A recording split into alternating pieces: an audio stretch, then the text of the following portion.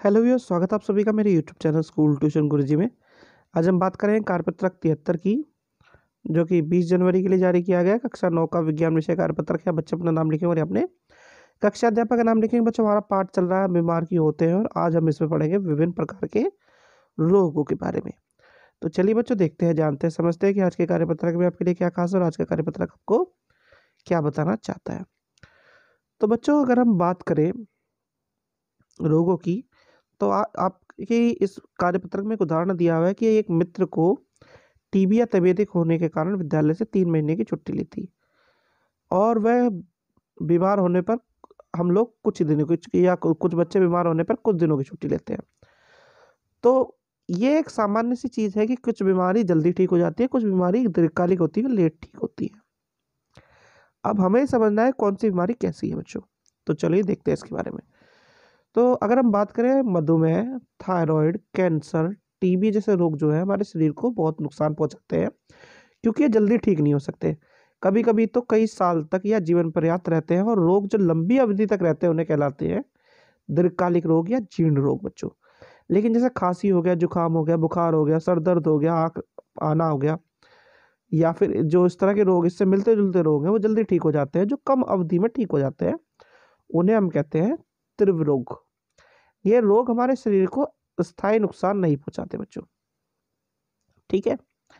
अब अगर बात करें रोग फैलने के आधार पर रोगों को हम दो भागों में विभाजित करते हैं। पहला है संक्रमक, दूसरा है असंक्रमक। अब संक्रमक रोग कौन से होते हैं बच्चों? वह रोग जो एक व्यक्ति से दूसरे व्यक्ति तक फैलते हैं, संक्रमक रोग कहलाते हैं। ये कुछ सूक्ष्म जीवी जैसे रोगाणु द्वारा होते हैं। ये रोग लोगों में संक्रमित हवा, व्यक्ति के साथ स्वास्थ्य व्यक्ति के रहने से और अन्य माध्यमों से संचालित होते हैं। यानी एक एक चीज़ जगह से दूसरी जगह फैल जाता है। इसे इन्हें हम क्या कहते हैं? संचरित रोग भी कहते हैं इन्हें। इन्हें हम क्या कहते हैं? संचरित रोग भी कहते हैं। अब अगर बात करें इन रोगों के कारकों की तो इन रोगों के कारकों को बच्चों हमने कुछ आधार पर विभिन्न वर्गों में बांटा है।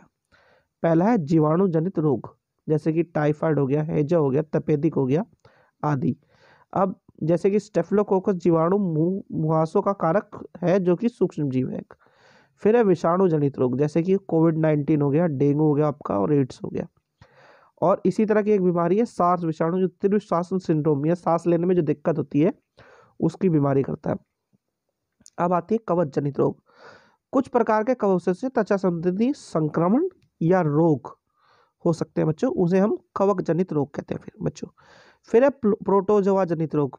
अब ये कॉमन रोग हैं, जैसे कि आपके मलेरिया हो गया, कालाजर हो गया। मलेरिया आप लोगों ने काफ़ी नाम सुना हुआ कालाजर हो गया, आदि रोग हो गया। अब इसमें एग्ज़ाम्पल भी दिया है, जैसे प्लाज्मोडियम वाइवेक्स प्रोटोजोआ मलेरिया और लेस्मानिया प्रोटोजोआ कालाजर के कारक हैं बच्चों। ठीक है? अच्छा अब बात करते हैं आपके असंक्रमक रोगों के बारे में। तो असंक्रमक रोग कौन से होते हैं? वह ये वह रोग हो जो, होते हैं जो एक व्यक्ति से दूसरे व्यक्ति तक नहीं फैलते।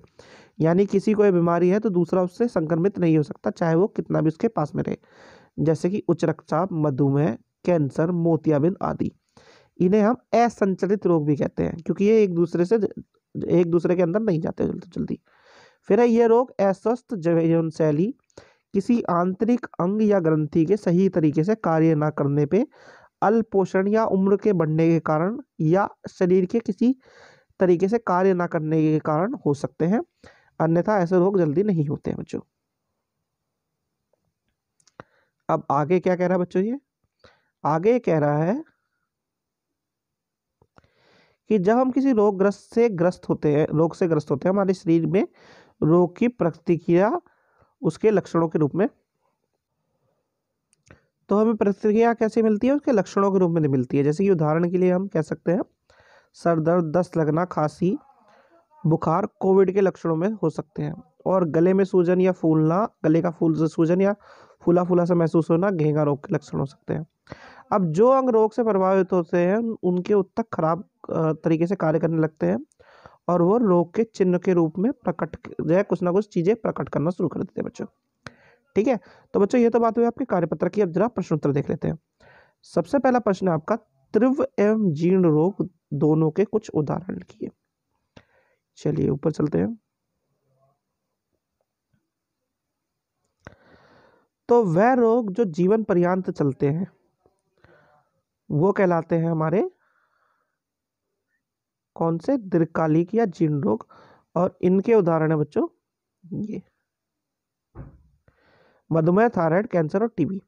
अब तीव्र रोग कौन से होते हैं जो कुछ समय के लिए होते हैं और जल्दी ठीक हो जाते हैं? वो कहलाते हैं तीव्र रोग। आपके उदाहरण है इसके। खांसी, जुकाम, बुखार सरदर्द आग का आना आदि। ठीक है बच्चों? ये आपका आंसर वन है। चलिए, अगला प्रश्न देखते हैं